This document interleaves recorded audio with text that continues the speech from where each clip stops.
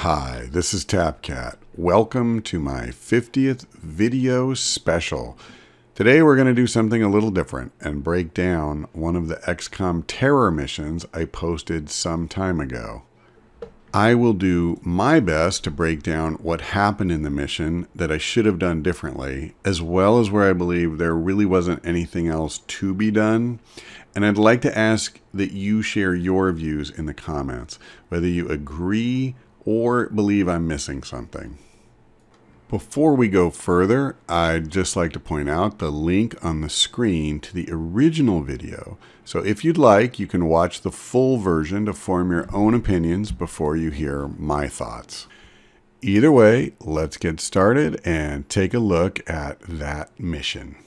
The challenges actually started before we even left the base.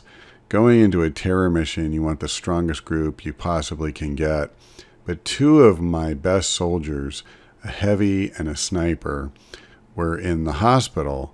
And as you can see, they were almost out, but that doesn't really get it done. So I had to make do with a squaddie and a rookie in their place.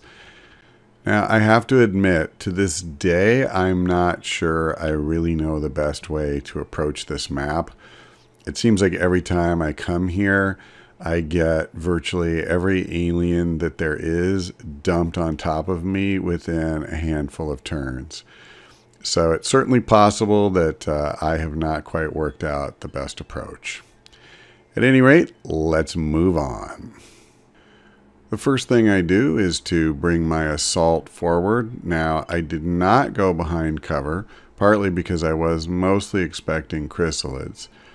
Whether moving this far forward the first move was a good idea, I think is questionable. Do I really want to trigger the first group this soon? Or should I have moved them behind like the red car and the green van staying back? Well, either way, uh, she does have a good shot. I took it and it almost killed this guy. Next thing I do is move my heavy over to the left the idea here is I'm just trying to get her a better angle on the chrysalid. It's not as high a percentage as I would have hoped, but it's acceptable and she gets the job done. So, so far that's one chrysalid up, one chrysalid down, two chrysalids that have run off and hidden somewhere, or maybe a better way to say it is that they went off to kill civvies. I don't move most of the soldiers behind cover because I'd rather just have the extra distance from the chrysalids. But we go on Overwatch in case any of them come back. At this point, everybody is lined up, and it's time for the aliens to do whatever they are going to do. And this is what I'm talking about when I say this map tends to dump a lot of aliens in my lap. I got lucky in the sense that these two scurried off, but I do now have another group of activated chrysalids. And so I don't have the luxury of thinking, you know, the first time I see them, they won't be aggressive or anything like that. I also have to worry about, you know, which direction enemies are going to come from and knowing that there's just more out there that could pop out from pretty much anywhere at any point. And again, when they do pop out, they'll be aggressive because they are already activated. So at this point, I'm trying to figure out whether I should move anybody forward, whether I should move my assault back.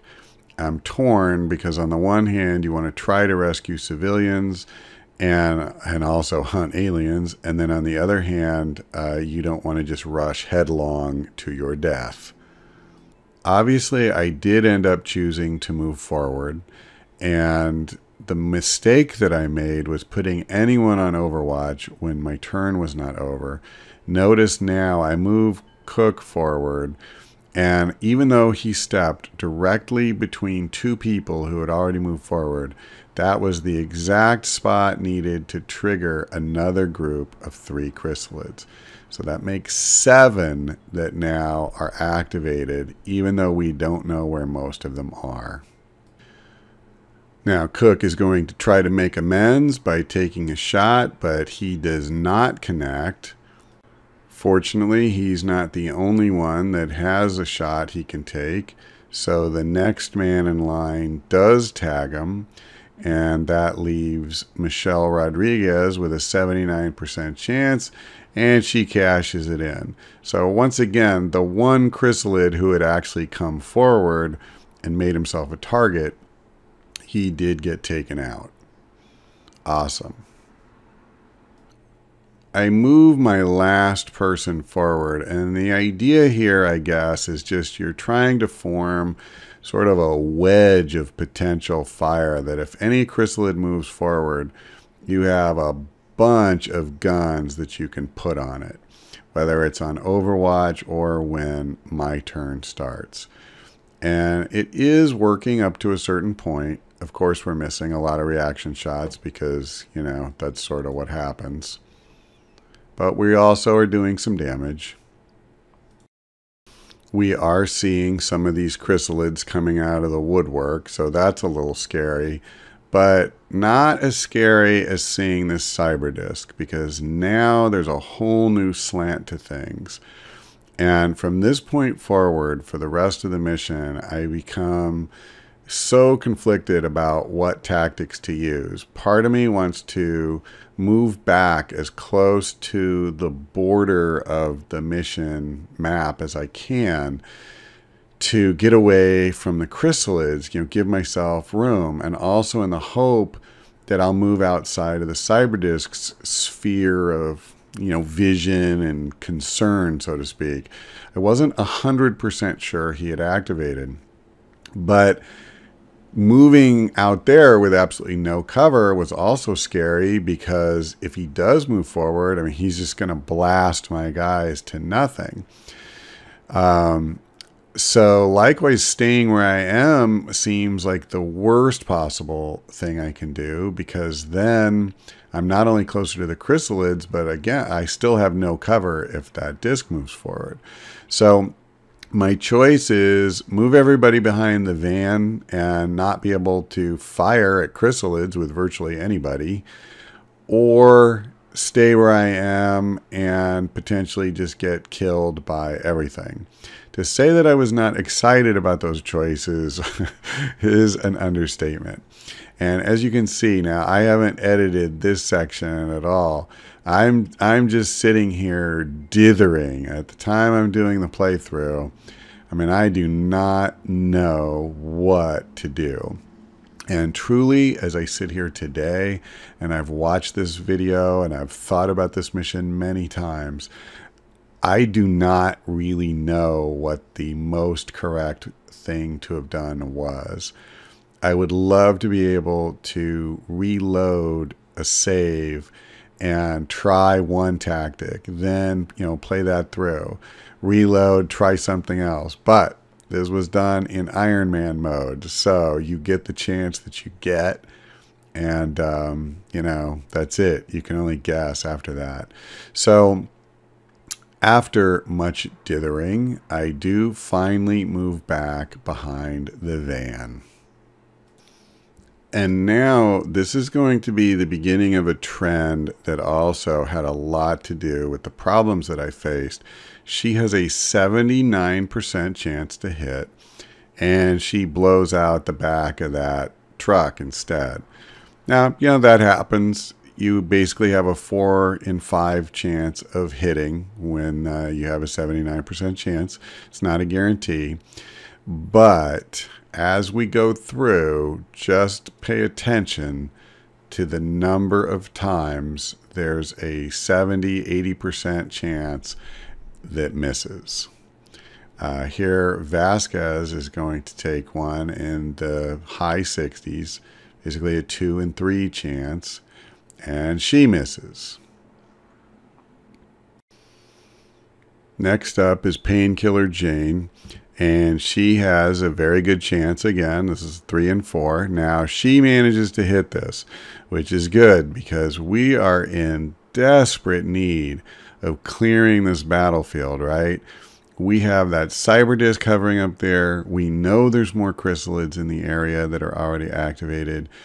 And we have two that are close enough, they could potentially kill somebody if they're not taken out. So, you know, I'm desperate to put one of these things down. And now instead, a 70% chance shot just goes wide. But that's okay, right? We have another soldier just waiting in line. So we'll go ahead. He has a 65% chance shot. Oops, another miss. So now I'm down to my last soldier. At the beginning of this turn, I had been hoping above all else that I could kill the two chrysalids and then focus on the cyber disc with all of my firepower the following turn. Now I'm almost done with this turn, and I literally do not even know if I can take out one chrysalid. So at this point, I give up on my plan because I obviously know there's going to be at least one alive. And so I do something born of ignorance. At this point in my XCOM career, for lack of a better word, I did not realize that melee works very differently than uh, ranged attacks. So it has a 100% chance to hit. Smoke grenades do you no good whatsoever. And so I used her turn not to attack and possibly do some good, but to throw a smoke grenade. Now, it is possible that it would do some good against the cyber disc, but honestly, that wasn't why I threw it. I won't pretend otherwise. Uh, I get a little bit lucky here because you can see one chrysalid attacked a civilian, another one decided to run upstairs, and he apparently also killed a civilian. Um, but I am uh, punished on the other hand because now another group of two chrysalids has come out. Now the cyber disc is kind of wandering around and he does not move forward and take an aggressive posture, thank goodness but he didn't really go away either. And so the threat of him continues to hang over me, and it will continue to be an issue as I figure out what to do next. Uh, once again, I feel like we catch a bit of a lucky break when this cyber, uh, excuse me, chrysalid goes to work on a civilian. It's kind of a tough round for, for the civilians in the area, but hey, we're still alive. Now, I believe the chrysalid is taking advantage of our smoke grenade. So this is pretty awesome. Um, you know, I'm getting no benefit from it, but he is. But then again, he really didn't get a benefit because I managed to hit him either way. Now, what you see is my heavy is out of ammo. So she's going to have to reload, but, it, but we did at least take the closest chrysalid out. And since her rifle is out of ammo, I decide to use a rocket. We're going to hit two chrysalids as well as stop uh, one or two civilians from rising as zombies. I don't remember which now. But that seems to me at the time and now to be a more than adequate use of a rocket, especially when I'm as desperate as I am to do any damage whatsoever. I haven't talked a lot about target selection up to this point, but all I'm doing is really focusing on whichever chrysalids are closest to me for the most part uh, with the exception of the rocket, where obviously you're looking for a cluster. So, uh, Painkiller Jane took a shot at this guy because he's now the most imminent threat and managed to hurt him. Uh, but then that's immediately followed up with another high percentage miss. So, once again, I'm starting to get low on characters that are going, or soldiers that are going to be able to fire and I still have a living chrysalid close enough that it could easily kill one of us uh, on its turn. This rookie has a very good position and he has strong shots at both of the chrysalids that are nearby as well as the cyber disc. It's only the two drones, which I don't really care about at that point anyway, that he, you know, doesn't have a good shot on. In the end, I go for the closest chrysalid. Now, that may have been a mistake. I don't know what the average damage result is on the standard machine gun. Uh, maybe it is two points of damage instead of three because if that's true, I should have gone for the chrysalid farther away to just get a kill. Uh, but obviously, my need was much greater to shoot at the closer one, and so that's what I did. I'm not positive if that was correct or not. Now, here, I moved this guy out specifically so he could get a shot, and he misses a 70% chance. So now I'm really just kind of twisting in the wind. I have a chrysalid that's more than close enough to kill one of my guys. And it's just a question of whether the AI will choose to do that or not. It's painful. I had to sit through approximately 500 alien moves, but eventually we get to the chrysalid. He does, in fact, decide to try to kill one of my soldiers, but I catch a break. Reaction fire puts him down. So, up to this point, still no casualties. In fact, none of us have even taken uh, a single point of damage. But the scariest thing that could possibly happen occurs now, which is that disc moving forward. And he flips a grenade right into the cluster I've got by that car. On top of that, the car is about to explode, so I cannot stay there. And I also have all ambiguity removed about whether, you know, he's going to be aggressive or not aggressive. What I want to do at this point is use every single soldier, if I have to, to just kill this stupid cyber disc right now. Unfortunately, as you can see, Michelle Rodriguez is all out of ammo. And if you remember, we used my heavies rocket last turn because she was all out of ammo. So no bullet swarm, no heat ammo from her. Uh, she's all empty. And so that leaves me, you know, a very weak starting point. Now I go ahead and I start with this guy because he's already behind full cover. And obviously, I'm going to fire as much as I can at the cyber disc. So it's an easy way to get things started without going all in. Unfortunately, despite the fact that he had a very solid chance to hit, I once again, in fact, missed. I then considered moving my support, my best support, over behind that truck. But I got nervous about that because I remembered seeing a chrysalid jump on top of the cab. So if I send her over there, is she just going to be mauled by that thing? With her health this low, there's no question he can get a one shot kill.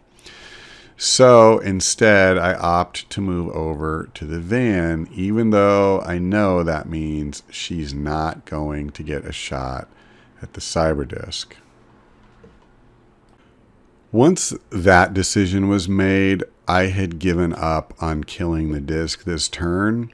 So the main thing that I regret is not moving behind that truck over on the left that would have given me, um, you know, flanking opportunities. It would have split my guys up a little bit. There was definitely danger in that course, but there was danger having us, you know, all in one place like that as well. I think at the time, uh, again, I was still in the back of my mind thinking about the chrysalids and that if I could somehow manage to kill the disc, then we'll all be tightly packed. And if a chrysalid dares get close to us, we'll just burn them down. But I don't know that this was the right way to go. It's actually possible neither method was particularly good. But um, yeah, I, I don't know. It was this a Kobayashi Maru no win scenario, or did I just make a bad mistake here? At either rate, You'll also notice I'm doing things like I had no choice but to move Vasquez at a dash, and she was out of ammo. So now that means she did nothing this turn except move, and she will do nothing next turn except possibly reload and be a target for aliens. I did have my main support heal herself uh, from the grenade damage I'm really trying to survive this if possible. We move our final soldier, a squaddie support, back behind the van. So it's official. We are all in just one big group hug. And I reload Rodriguez. I think she's going to be the only one with a full uh, complement of ammo. And the car blows up as we knew it would. And now I have to sit helplessly and wait to see what the aliens are going to do to me. We see our first zombie, hardly a shocking sight after the number of civilians that got tagged by the chrysalids. Fortunately, he shambles away, but we see plenty of the little bugs scurrying around looking for someone to kill. And for the most part, they're keeping their distance. I would definitely say I caught a lucky break when the Cyberdisc missed. But um, overall, things are not going bad at all here. And then it does get a little scary right here because this guy was just one tile short of being able to attack and kill one of my soldiers. I spent some time working my way through the group, seeing who had what percent chance to kill what. Obviously, my top priority at this point is the chrysalid because he is going to kill a soldier next turn. He needs to die. The next most priority is the cyberdisc and if that isn't enough, there is another chrysalid close enough that he could kill one of my guys. At least he has that potential. Uh, as you can see, some soldiers are fully out of ammo, others are very low. So to say this is a nerve wracking situation uh, really doesn't cover it. Every action you take is just so critical in the end, I decided to have the soldier who was the most threatened open fire on the chrysalid. She certainly wasn't going to fire at the drone. She did manage to take half of its life, so that's a solid start. I could have taken a 100% chance shot with Cook here. But the four damage that we need is going to be a bit of a lucky shot for him. And also the fact that he is almost out of ammo makes me really want to reload if I possibly can. Whereas I know that Rodriguez has a full laser rifle and she also has a very high chance to hit. So in a lot of ways, it makes more sense to take the shot with her. I do exactly that, and she burns him down. So that's one threat eliminated. With that done, I go ahead and have Vasquez reload because other than being able to throw a grenade, she can literally do nothing. And that, by the way, is why I didn't reload until after the chrysalid was killed. Is if it came down to it, I could have used that grenade to finish it off.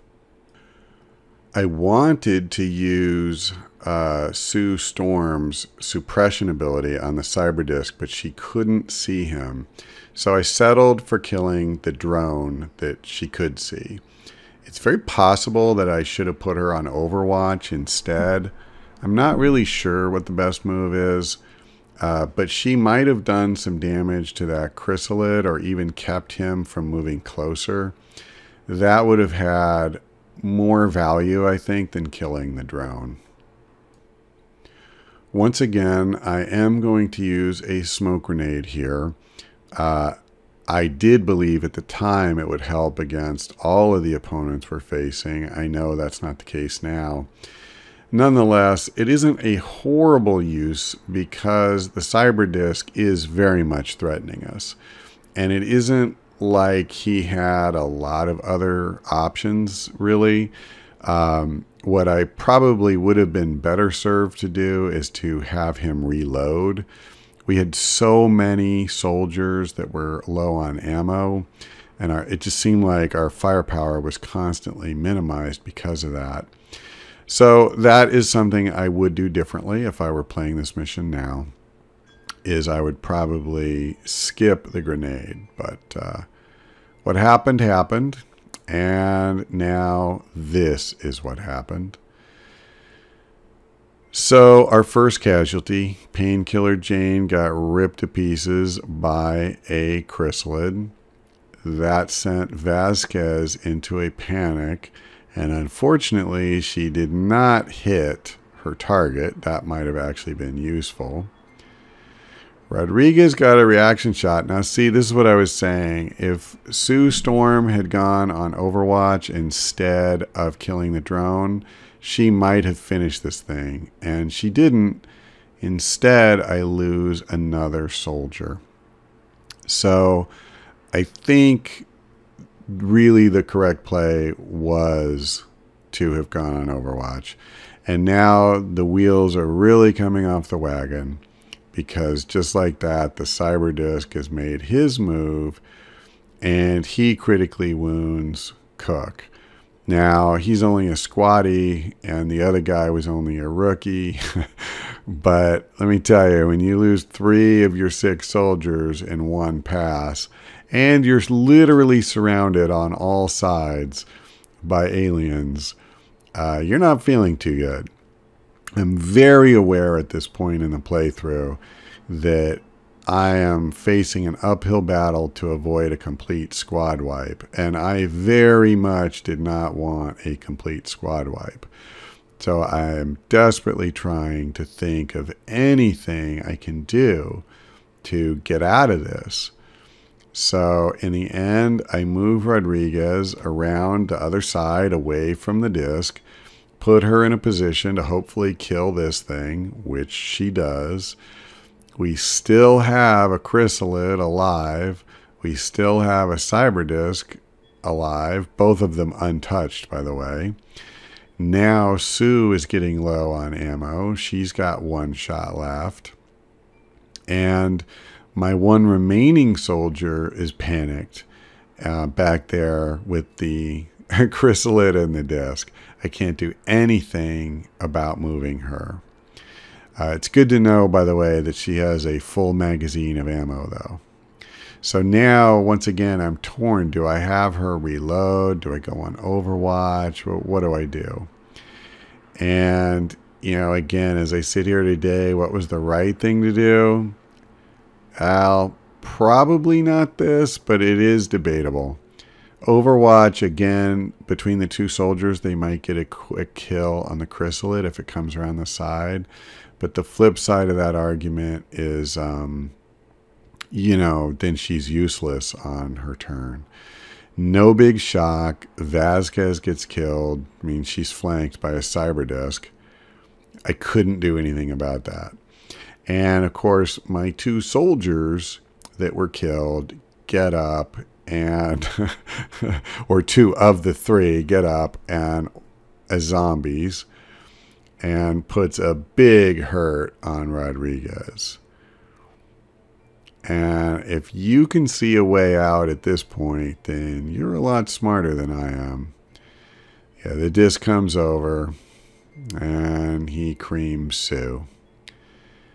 So Michelle is the only one left.